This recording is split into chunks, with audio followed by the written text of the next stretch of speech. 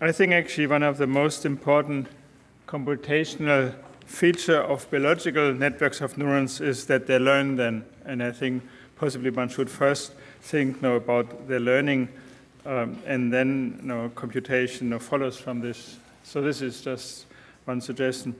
So I want to talk today about principles for learning. And we all know how useful backprop has been, uh, and on a very abstract level, backprop relates uh, a global optimization goal, namely gradient descent in some error landscape with local learning rules. And this is something we don't have so often in network of spiking neurons. And you all know if you just you know, release STDP in some recurrent networks, all kinds of things go on, but rarely something that you really want to see them. And so therefore, I want to propose here today two principles which in principle have the capability to relate global network properties to local plasticity rules uh, like STDP, but actually also they relate to other types of plasticity. So Jeff Hawkins and Narayan Srinivasa talked about you know, spine dynamics, you know, network rewiring, and I think it's also necessary to integrate these features into more principled framework. And then also in the end, I think we should really also approach the perspective of network optimization. You know, you know there are powerful optimization methods, non-linear optimization methods. You know, simulated annealing is one of them. It was already mentioned. And I think it would be very nice to see um, that network learning can be viewed or can recruit uh, the power of global network optimization. So very concretely, and I want to sketch two principles. One is expectation maximization, EM. Another one uh, now related to using use of Fokker-Planck equation. So both of these principles actually very old principles. Uh, I think it's maybe they have not been considered much in the context of spiking networks. So let me first talk about um, expectation maximization. And so this builds on work which has been published a few years ago Bernhard Nessler et al. and Habenschuss et al. And uh, this one feature of this first principle, EM, is that you can't apply it, as far as I can see, to an arbitrary architecture. It needs to have a particular architecture to work well. And uh, the architecture here that I'm considering, Giacomo had already talked about you know, this kind of probabilistic or soft winner take all circuits. This is one architecture where this particular method works particularly well. Um, it requires to have stochastic neurons where you know, the firing probability you know, uh, is really essential and it results through a simple exponential formula from the membrane potential. Um, and here now, the, I consider here only plasticity applied to these synapses from the external high dimensional spike inputs streams to competing neurons. And each of these neurons, they compete to become an expert for the current pattern uh, which is there in the input there. And what is nice is that one can see this network of spiking neurons as a concrete emulation of EM uh, that tries on an abstract level to fit a mixture distribution to the distribution of inputs as they come in here. Uh, and so therefore one sees then actually that each of these competing neurons can then be related you know, on this more abstract level to one component of this mixture distribution. And by modulating the concrete shape of the STDP rule, uh, this was shown on particularly in this Habenschuss paper, uh, one can modulate also so that in principle any mixture of exponential family distributions um, uh, fitted to this input. And so this I think is quite nice because you have all the zillions of synapses. You know, they're just applying STDP, they have no idea what's going on, but having this plasticity rules in this concrete architecture tells us you know, that something much more powerful can happen there. And I think you're all familiar with you know, expectation maximization. It's a very old method. And as you know, probably the majority of unsupervised learning methods in machine learning use EM one way or another. But it's nice to see, usually EM requires really a supervisor, now, which says now we have an E phase and now we have an M phase.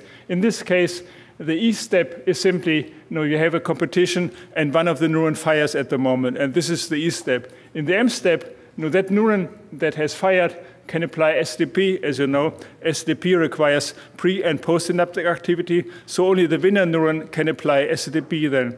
And you simply you know, apply it there in this continuous time, and this is then you can interpret this as an M step.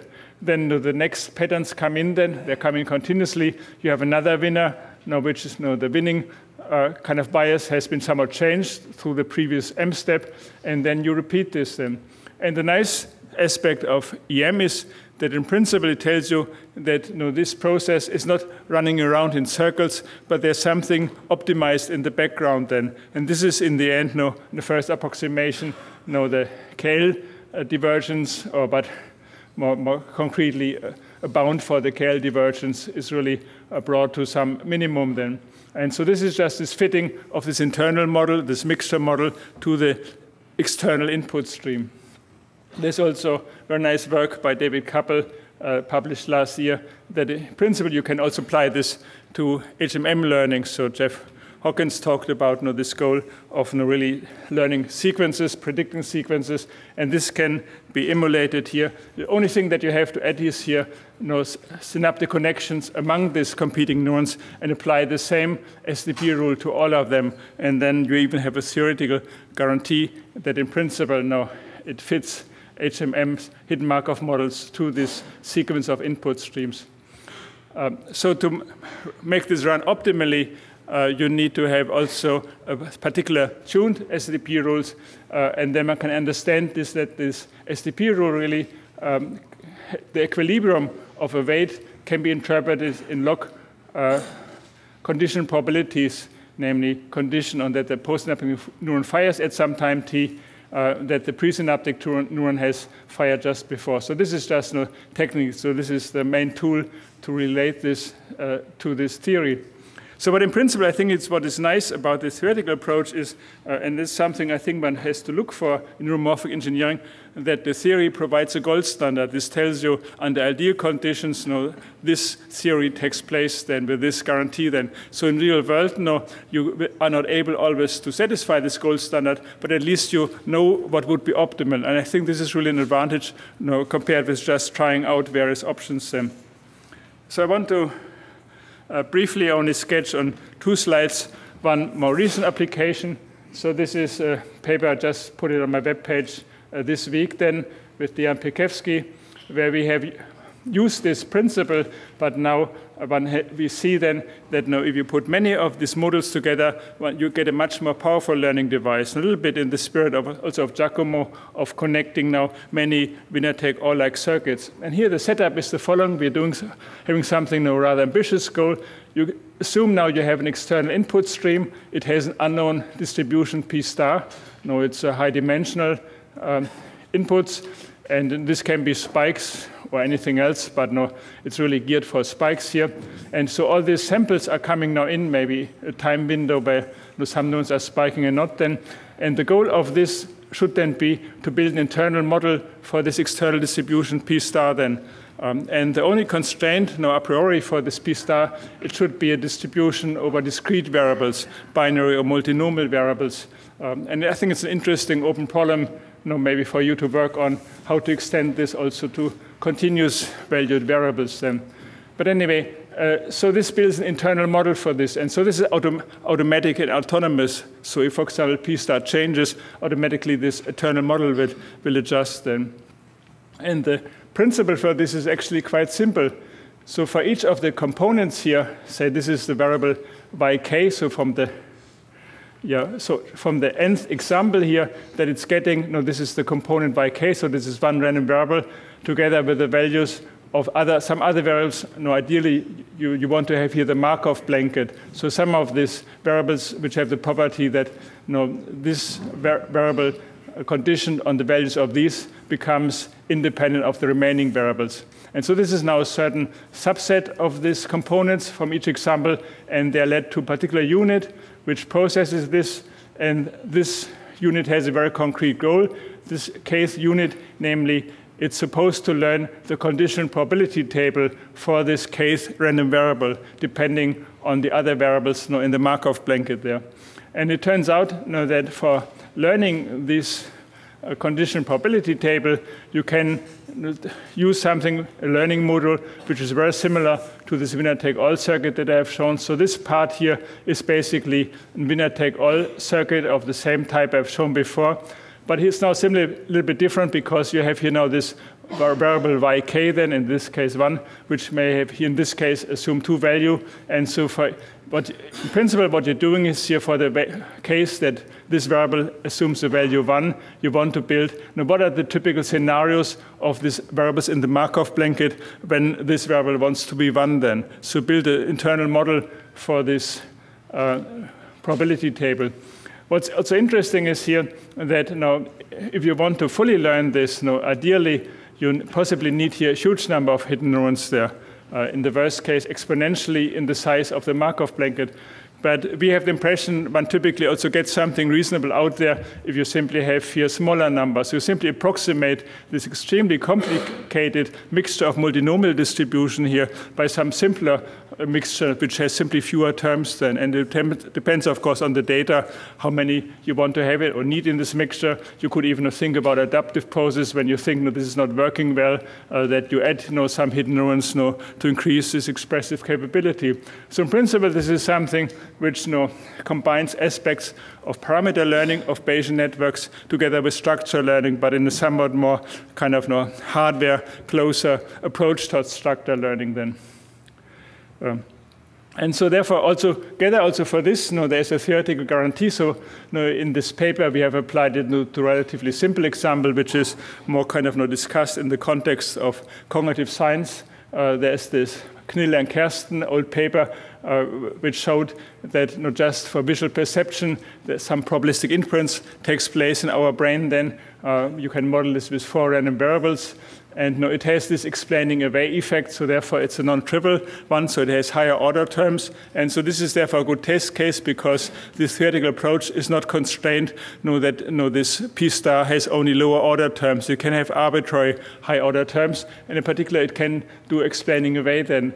So you know, the method of now going from this Bayesian network to this um, network now of neurons is you have now four learning model, modules each of these learning modules looks like the one that I've shown you, which has as its heart no winner-take-all-like circuits. Uh, they're all no kind of continuously firing. There's no con overhead control or timing or clock or so necessary. But still, from this theory of M, we guaranteed that each of these modules builds an internal model for the probability table. And so these are these Kullback-Leibler divergences for those four modules. And you see like this green models doesn't really hit no zero. So there are no kind of approximations then, and we probably didn't use the right number of neurons here, or large enough neurons. But anyway, we see pretty soon all these KL divergences become pretty small then.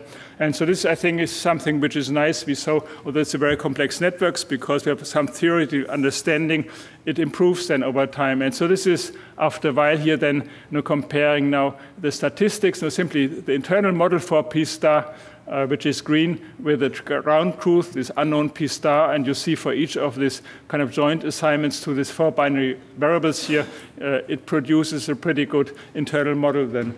Um, and so this is something which is nice, and I think it would be nice also to see this in you know, neuromorphic hardware implemented because you simply can set it outside, point it at the world, and automatically builds a model of you know, the statistics of the inputs that have come recently into this network there. So now I want to uh, talk about the second topic, which is of a different nature. Um, it uses different principles, and it doesn't, it's not really constrained to any particular type of network. It doesn't even have to be a spiking network, and also it's very general with regard to the plasticity rule. So in principles, you can apply it to any type of local plasticity rule. The only constraint that is needed there is actually an unusual one because you see in a moment then we you need to put, add one stochastic component to the plasticity rule, which is one which you usually don't do there. So in that sense, a little bit unusual. But no, one motivation for this is you know, this continuous spine dynamics and rewiring that you have seen then. So this is a very nice paper by, from the Simon Rumpel lab you know, from last year, Löwenstein et al. in PNAS. And so this shows here from this from one session, the new spines that they observed here, how many of them survived then. So you see here after no eight days, no, most of them are gone. You're here 20%. And so this is overall the statistics. So when today you know which synaptic connections are there, so after how many, you know, five days or so, half of them are lost then. And so this is the adult mouse cortex there. And the argument of the researcher is that this happens all the time, also in our brains, you no adult brains, that it's not something specific for development. And there are probably processes that regulate the speed of this. But I find it quite surprising you know, that we have stable function in spite of the network all the time changing under our feet then. And for me, one motivation was really to get a theoretical handle on this situation that stable network function, stable learning could be in principle possible in spite of the fact that all the time things change under your feet then. Um, and yeah, so this is now newer work then, so it was uh, last year published. Uh, this uh, David Kappel is a, no, a great no, PhD student, Robert Legenstein, associate professor in our lab, and no, uh, Stefan Habenschuss uh, was a postdoc. He's now in working industry, uh, and uh, the other authors on this uh, paper. So I told you, you know, there's one new term in this plasticity rule. So all plasticity rules that I'm discussing here now from now on will have this form here. So they have now, they in principle, technically, these are stochastic differential equation. So the, the new term is this term here, where this dw is an, a step of a random walk closer, no, more precisely, an infinitesimal step of a random walk. So just it goes up and down then, and it, you know, like a random walk, it can move, wander a little bit away or so uh, from zero uh, in, in some direction. And so then you have here some b then, which is just a learning rate. No, you can modulate, it regulates simply the time scale. This is t is an interesting parameter because you see it only scales this noise term here on this plasticity term, and I will come back to this on the last slide. Until that, I will now always assume t is equal 1. I don't want to deal with this. Um, so now let's look at this term. So this is the term where, where, what you usually have then, like an STDP rule, would be part of this then. And an interesting aspect is that the way how this rule is written here, it relates right away this local plasticity rule, which just cares about one parameter, theta i, out of millions of parameters possibly, uh, in terms of a certain target function. So p star is now something completely different. p star is a kind of desirable um, distribution of a network configuration. Think now this, you have a million parameters, theta, and they really determine the current network configuration, both which, which connections are currently active, you know, what is the weight of the synaptic connections, but also excitability of neurons, no delays, whatever. Um, and the P star is now really the target. So there's a little bit no analogy to when you do backprop, you have a certain kind of target uh, function that you want to modulate. Here, no, we are not talking about supervised learning, but unsupervised learning, reward-based learning, as you see in a moment. But anyway, this is here a target function. So I think maybe the, the most powerful kind of special case is the case of reinforcement learning, where simply you want to have that the network configurations theta which get the highest rewards typically, they should have the largest mass under this distribution. Now, when you're learning, you have no idea what this P star is, then nobody really knows it, right? And so the, what we want to see that nevertheless, this network kind of you know, moves towards this distribution so that most of the time the network configuration is, will be in a, you know, will, will, be, will approach this one so that most of the time it has high value, it has, it produces then high rewards then. So more you see you have a log here, which we find in a moment very useful in case this is a product. Um, and then you simply have the partial derivative then. And the success of this you know, theory driven learning approach depends on how well you can now approximate with a local learning rule like STDP or kind of spine dynamics uh, this partial derivative then. So at least you know, from biological perspective, you have bad luck. You know, this may be a non-local learning rule, right? If you have a non neuromorphic device, this may not be fatal, but you still care about you know, what variables this depends on. So typically, you know, this game now amounts now uh, you have a certain well-defined learning target. Now, how well can you implement in your neuromorphic device uh, this drift term here then? So altogether, now the, the theory which tells us that, that we simply let this run for each parameter in parallel, and that know, the station distribution of this resulting Markov chain on the parameter level will have a station distribution uh, p star of theta. Well, no, assume at the moment no t is equal 1, then um, and so the Fokker-Planck equation tells you also exactly you know, when you started from initial state you know, and you have it run until time t, what is now the current distribution. But and, and, so in the end, I think it is of course very important not just to know what the station distribution is, but where you are after you have started, you have run a finite time from a given initial state. So I will ignore all this question, but I think this will be the question which arises necessarily when one now takes this approach and would you know, apply it to some concrete concrete neuromorphic device. You really have to care about the convergence of this learning. Now, in this case, the convert, how fast you are converged to this distribution then.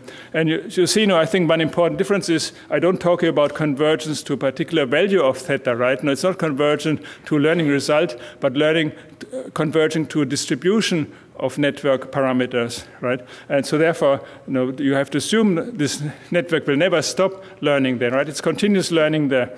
Um, and you may even, this is, I think, interesting, you can may well change P star then, right? Or something changes in the network. It will still follow the same rule. It will always try to track, you know, the, what is the current uh, P star then. And so we coined the term synaptic sampling for this because you know, these are the parameters you know, which regulate one synaptic weight plus its connectivity uh, as opposed to neural sampling, which is more stochasticity on the level of activity with fixed theta. So in principle now the theoretical approach you can be applied to basically any concrete learning uh, approach then. I will briefly discuss here the case of unsupervised learning. We have a generative model and uh, so in common of both of the approaches, which I will briefly discuss, is that you can bring in our prior, and so this is good. I think in most neuromorphic cases, you actually want to have a prior because even if the network for some way decides no, it wants to have everybody connected to every neuron, you don't want to have this, right? No, you can't no, handle this well. So you have a certain sparsity, sparsity prior as a minimum, right? And so this is now a systematic way uh, of sc scaling into this general approach any prior actually that you want to. Uh, so in this case, you know, of generative model, we assume you know, X is now an example of repeatedly occurring inputs, you know, say a set of, you know, visual, of, of visual patterns of images, and we now want to uh, that the network builds an internal model for these visual inputs there, so that theta is, op is optimized in such a way that the probability, the likelihood of this ensemble of inputs is maximized. But it's also know, that altogether this P star is influenced by the prior according to this then. Um, so therefore now, if one wants to apply this now, you need to have a generative model, and then you have to talk about a more specific model then. Um, so this approach you know, was published uh, last year.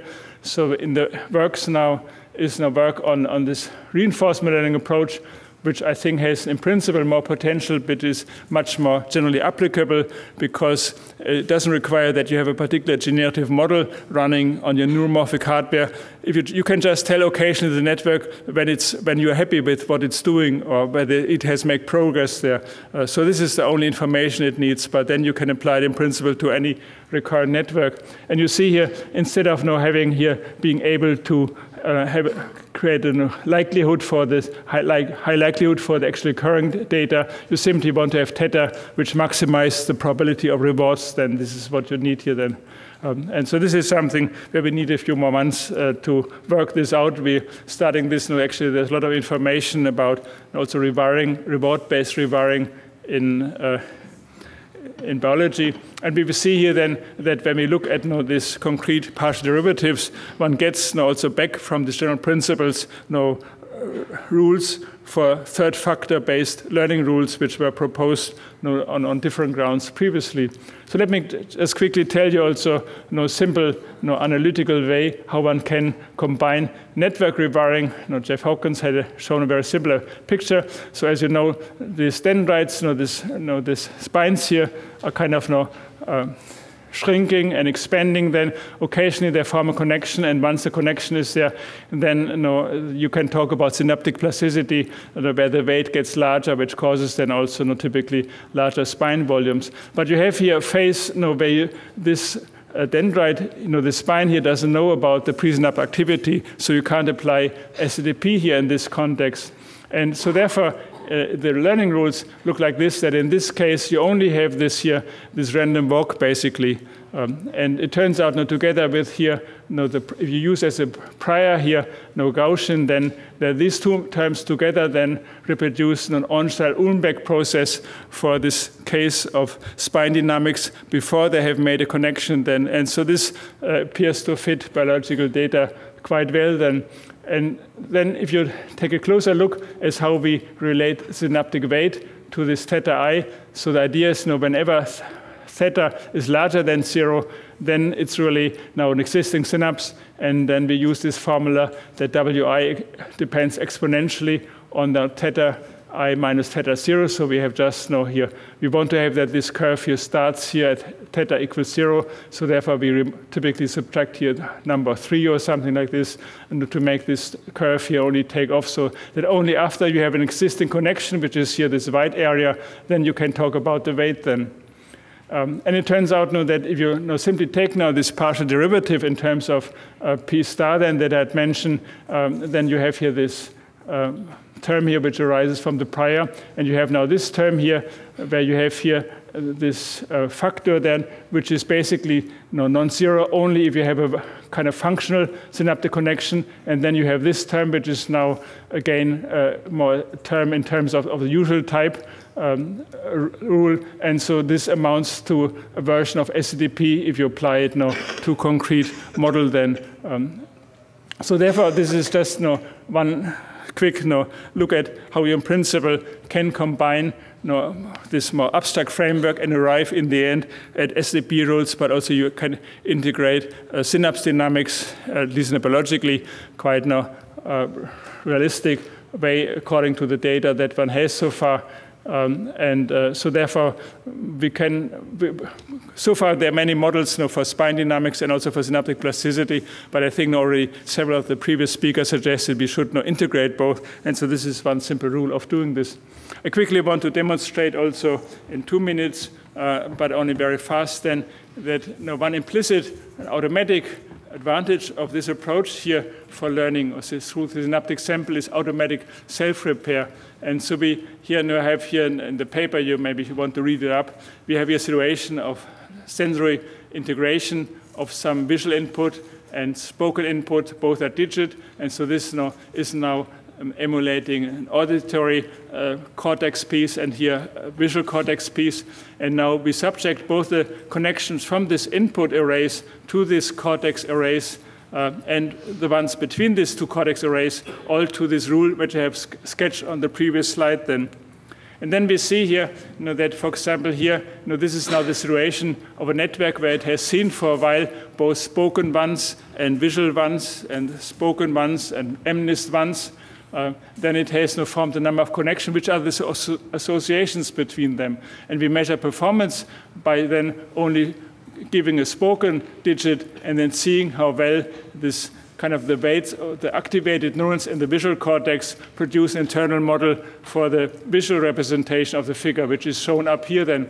And so, for example, in the first lesion, so this is now measuring performance here in this kind of reconstruction of the visual input in this generative model. And so here we have been very mean. We have removed now from this visual cortex all neurons which have been encoding a 2. So this neuron has been encoding a 2. So we removed it here. This one has been removed. So in principle, it's not just a random crippling of the network. It's a mean crippling of the network. We have removed all representations on the visual cortex for the letter 1 then. And so then we let it simply know the network doesn't get told to do something different, it just keeps running.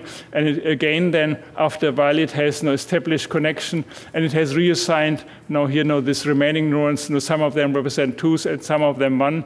So we have another lesion, which is here even meaner. We have removed now all connections between these two kind of cortices, now Um, and uh, so then after a while, it still recovers, then it grows you know, some back then uh, and gets you know, close to performance. And I think know, the, altogether the picture which is maybe best conveys the ideas is know, here we check know, kind of in the pr three principal components, know, this vector theta, and you see here know, in this phase when you're just learning, it's cruising around in the space. When you make a lesion, nothing so drastically happens. You simply, you kind of give it, you nudge the network to search now in a somewhat different part because you have essentially changed P star at this point, right? And here when you make another lesion, again, you nudge the network now to kind of sample from a different P star then, which reflects the second lesion then. So this is something now which we can expect here. I, I want to you know, jump, uh, quickly move to then the reinforcement learning slide. So this is my last slide before the summary. And one thing that I like very much about this approach of reinforcement learning is that in principle it has the theoretical promise of applying you know, of, of, recruiting the full power of sim simulated annealing for optimizing network so, it, so, that it gets maximum reward then. And so this is very nice because we are used to being stuck in local minima, particularly also in reinforcement learning. And here what's of course essential is um, that we also we need to have now a school cooling schedule then, because it's essential whenever you have now a particular value of t, that this parameter theta moves really to the stationary distribution, which is the right one for this particular value of t then. Um, and so therefore this becomes now a new kind of engineering discipline, possibly not to really have now fast sampling uh, in this um, parameter space theta insofar that you want to have fast within a few steps you want to move to the station distribution. But then the theoretical guarantee tells you that in principle now if you have you know, the right cooling schedule you can really reach the global optimum um, of a network configuration uh, where you're then only staying at a very small part of this parameter space where you get maximum reward then. Um, and so therefore, uh, this is something which I think we should think about. We should be less modest with network learning. We should really try not to do global optimization, really optimal, not global optimum, not local optimum with network learning then. So yeah, so I've discussed these two principles, which have somewhat different pros and cons. You know, the simpler one with EM, as I mentioned, you know, there the gold standard is you want to have you know, particular kind of network modules and also particular learning rules, but then it can, re can recruit EM then, which is nice. And the second approach is much more general, and we're just actually starting now to, you know, to work on this. I think there are many more issues uh, which have to be explored. But also the second one provides you gold standards because now you have a way of judging the quality of local learning rules from the perspective how well do they approximate this partial derivative from the p star and you actually have to reflect what is actually your p star, what is your ideal uh, distribution of parameter vectors there. Um, and I think hopefully this provides you know, some new ideas for our work then. Thank you for your attention.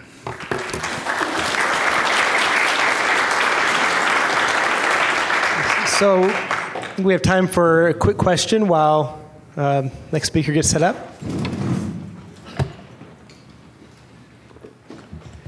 So one question, quick question I have, Wolfgang, is um, so you have a so everything about me is neurogenesis. So neurogenesis would fit under your model as well. We add new neurons. So you have a synaptogenesis model. Sorry, didn't I catch the first part? So I'm I, I study a, a, neurogenesis where you're adding new neurons into a network. That would fit under your model as well. Right. You, you, you, would have to work on it somewhat, right? You need somehow have you know, kind of virtual holes you know, where you know, later neuron can, could come and go then. But it hopefully at least would provide you again some principles for, for neurogenesis. Yeah, this is a good point then, yeah.